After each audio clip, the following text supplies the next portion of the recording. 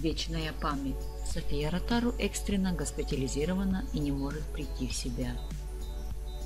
71-летняя народная артистка почувствовала себя плохо прямо во время выступления на корпоративном мероприятии. Она едва успела выполнить все свои песни, как ощутила сильное недомогание и головокружение. Ротару доставили в одну из уфимских больниц.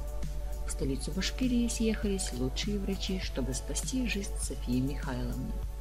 Я не буду комментировать ее госпитализацию, это вне моей компетенции, заявил Стархиту директор Ротару Андрей Неклюдов.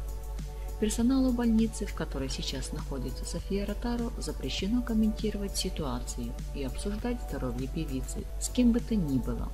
Однако известно, что в данную минуту София Михайловна в реанимации.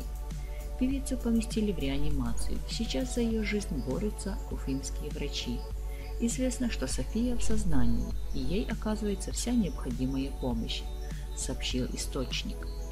Ротару упала в обморок, потому что у нее произошел резкий скачок давления. Очнувшись, она потеряла память, не понимала, где находится, не узнавала людей, рассказали в больнице. Кроме того, медработники добавили, что несмотря на то, что состояние здоровья певицы стабилизировалось, Ротару пока останется в стационаре, где ее еще несколько дней будут наблюдать врачи.